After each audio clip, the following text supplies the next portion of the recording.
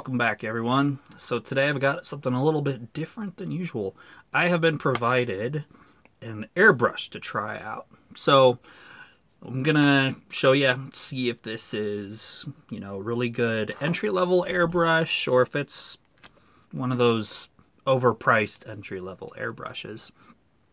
So what I've got is the AK Airbrush Point 3.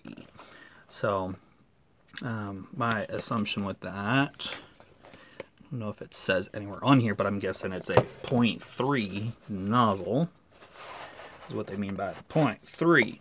So it says it's versatile, robust, adjustable screw, perfect needle nozzle combination for final detailing and spraying. So imagine that. So let's see what's inside here.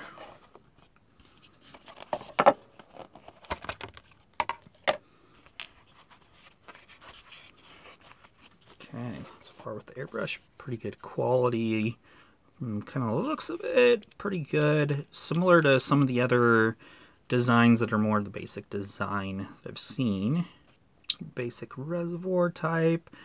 And then it does have the adjustment for um, locking out how much paint flow you have. So that works really well in conjunction with the smaller needle. Let's take a look at that.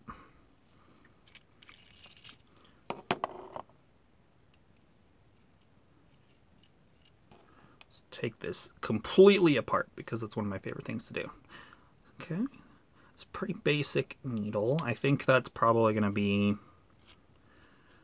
uh, one thing that I'll have to look at is try to see replacement parts on this. They, from what I've seen so far, it looks like they're fairly standard and so you can get a lot of replacements from basic stuff. I've got a basic like Master brand.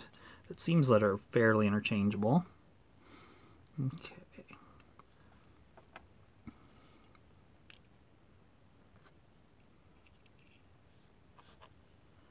Yeah, pretty easy. Standard cap. Just for kicks, let's take off that here. Okay, a little different design than some, but seems fairly standard. Okay, so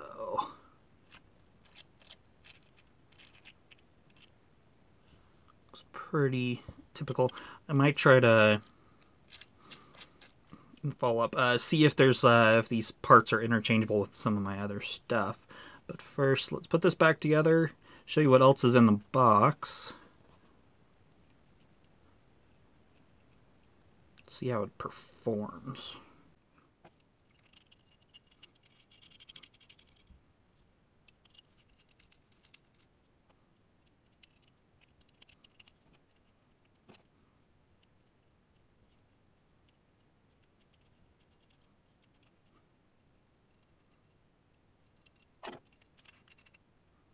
Okay, just as easy as that. So on our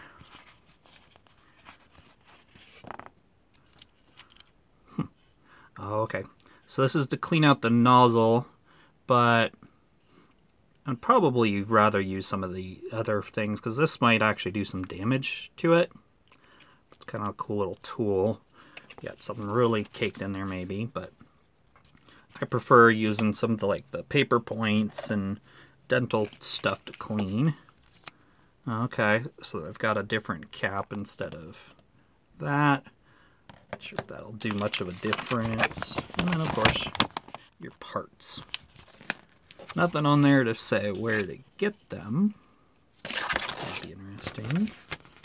Okay, all this back in. See how she runs.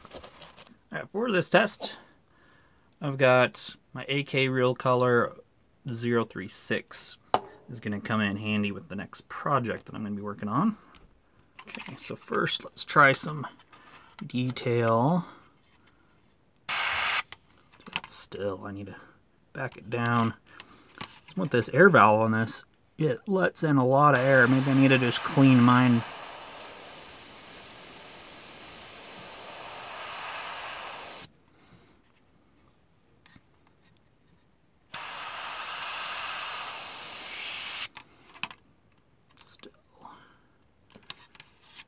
still way too much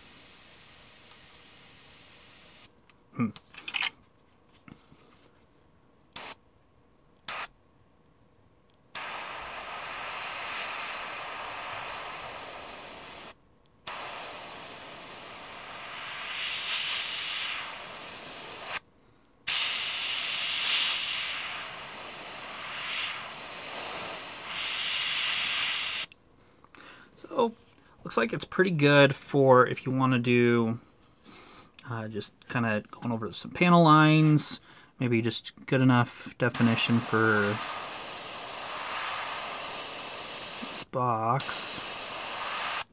Doing some pre-shading type stuff. Uh, might be able to fine tune airflow.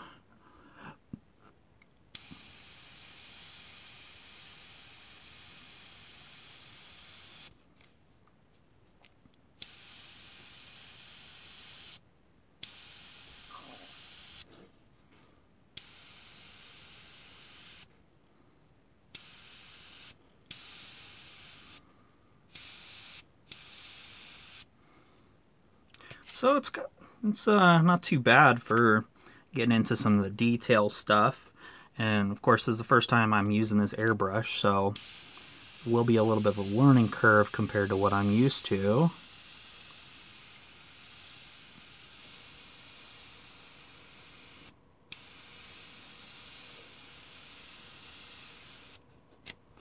So, let's take a look.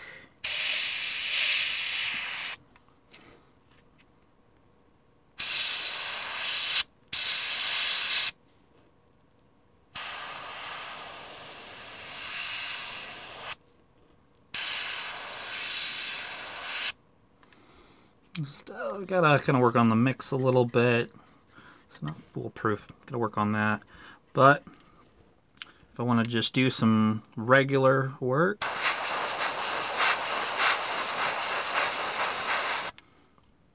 so for that, works really good. So I don't know if I would call it my airbrush for doing fine details, but be able to just lay on standard coat.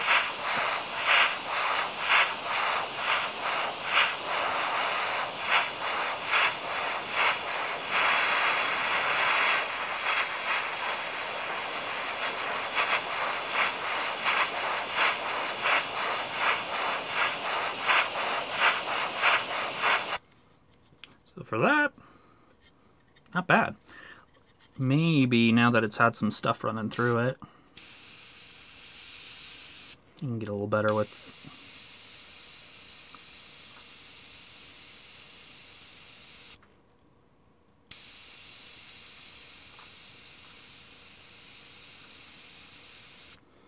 So I could probably get there a little bit with some fine lines, but it's not as good as something, obviously, it's for twice the money that can handle those better. But when it comes down to just your regular work, it's pretty well. Um, I was worried about 0.3, just not really um, being good. I might put some primer through this and see what primer looks like, but for standard work, it's it's doing good.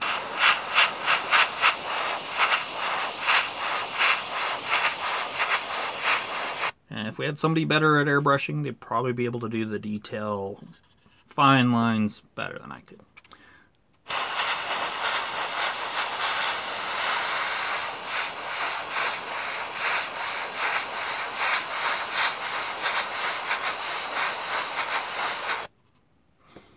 Okay, so I'm going to use up all the paint in the cup and get this all cleaned up and then we're going to see if the parts are interchangeable with some of the other stuff because I've got a similar design that just might completely be interchangeable and then be really easy and cheap for replacement parts.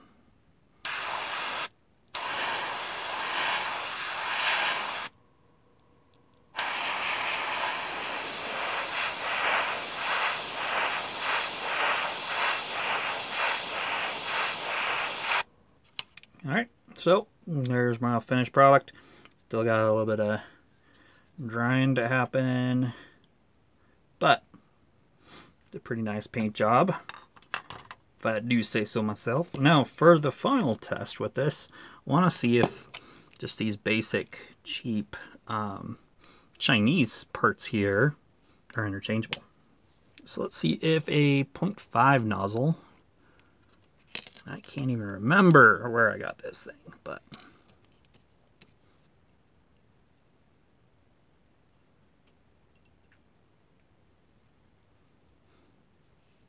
Mm-hmm. Okay, first thing works, it threads. And these thread as well.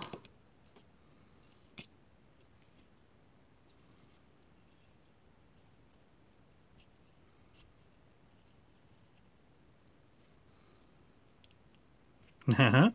so far, it's looking good. I'll take a cover from this.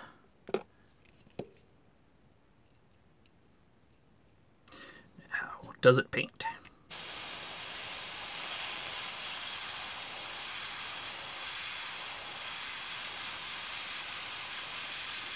You work on the paint mix, but comes out.